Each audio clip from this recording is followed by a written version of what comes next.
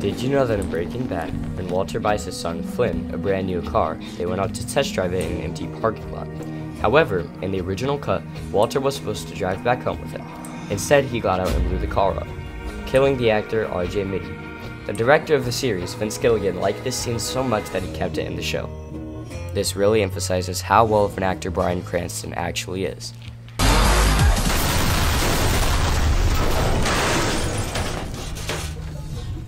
No, I'm sure he'll see me. Thank you.